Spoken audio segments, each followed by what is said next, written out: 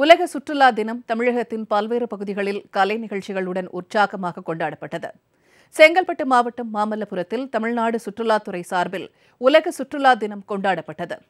கடற்கரை கோயிலில் வெளிநாட்டு சுற்றுலா பயணிகளுக்கு சுற்றுலாத்துறை அதிகாரிகள் தமிழர் கலாச்சாரப்படி மாலை அணிவித்து மரியாதை செலுத்தினர்.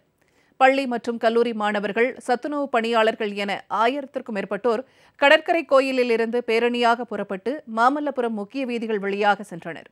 ஐந்து ரதம் அருகே உள்ள தனியார் நட்சத்திர விடுதியில் கலை நிகழ்ச்சிகள் நடத்தப்பட்டன. சத்துணவு பணியாளர்களின் ஊட்டச்சத்து வார விழா கண்காட்சி நடைபெற்றது.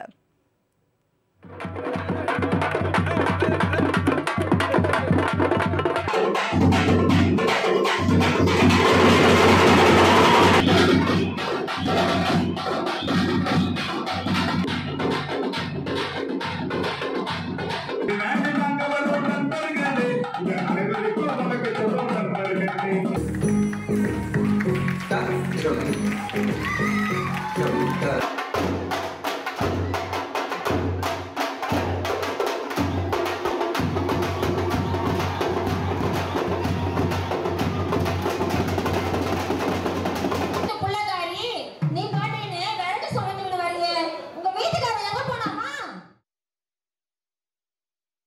சர்வதேச சுற்றுலா தினத்தை முன்னிட்டு மலை ரயிலில் வந்த சுற்றுலா பயணிகளுக்கு நீலகிரி மாவட்டம் உதகை ரயில் நிலையத்தில் ரோஜா மலர் மற்றும் இனிப்புகள் வழங்கி உற்சாக வரவேற்பளிக்கப்பட்டது உலக சுற்றுலா தினம் குறித்தும் சுற்றுலா பயணிகளுக்கு எடுத்துரைக்கப்பட்டது.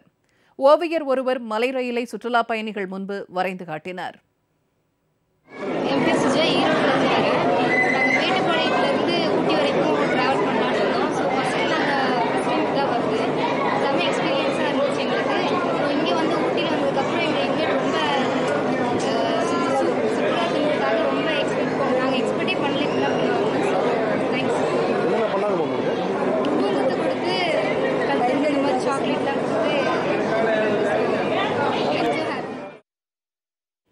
நீலகிரி மாவட்டம் கூடலூர் ஊசிமலை காட்சி முனையில் பழங்குடியினர் பாரம்பரிய இசை நடனத்துடன் சுற்றுலா பயணிகளுக்கு வரவேற்பளித்தனர் கூடலூர் அரசு கலை அறிவியல் கல்லூரி நாட்டு நலப்பணி திட்ட மாணவ மாணவியர் கலந்து கொண்டு சுற்றுலா பயணிகளுக்கு மலர்ச்செண்டு வழங்கியும் இனிப்பு வழங்கியும் வரவேற்றனர்.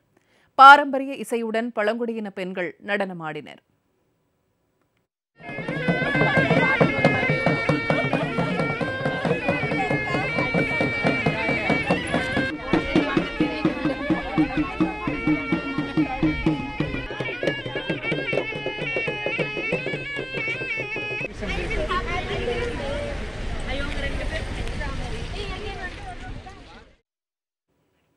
உலக சுற்றுலா தினத்தை முன்னிட்டு சர்வதேச சுற்றுலா தலமான கன்னியாகுமரியில் சுற்றுலா படகுகளில் செல்வதற்காக வந்த சுற்றுலா பயணிகளுக்கு இனிப்புகள் சங்கு சிப்பி மாலைகளை சுற்றுலாத்துறை அதிகாரிகள் வழங்கி கௌரவித்தனர். இதனால் சுற்றுலா பயணிகள் மகிழ்ச்சி அடைந்தனர்